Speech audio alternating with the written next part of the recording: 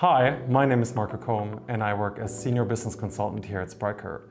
In this video, I'm going to tell you about subscription business models. Subscription business models have seen a significant upswing over the past decade. From software and streaming services to food boxes, razor blades, or even cars.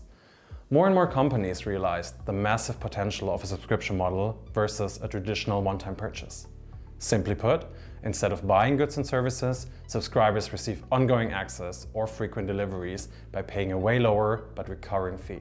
Lower upfront costs combined with the higher flexibility due to short cancellation periods of usually around one month are the main benefits of a subscription model. Other subscription models even offer a predefined number of deliveries a customer has to commit to while the contract automatically ends after the last delivery.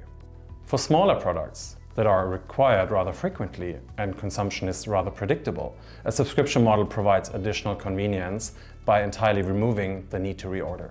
Besides, customers often enjoy a range of value-added services bundled with the subscription plan, such as maintenance, prioritized customer support, insurances, or free updates. Companies, on the other hand, benefit from a predictable, recurring revenue stream. Subscription models are both a great customer acquisition and retention tool. As they dramatically lower entry barriers, potential customers are more likely to try out new offerings. By design, a subscription model initiates a permanent relationship with a customer. This allows for various retention measures through frequent customer touchpoints and allows for cross and upselling, for example offering additional services or switching to a higher subscription plan. However, as barriers for customers to cancel their subscription are just as low as getting one, subscription models force companies to be more customer-centric and maximize user value.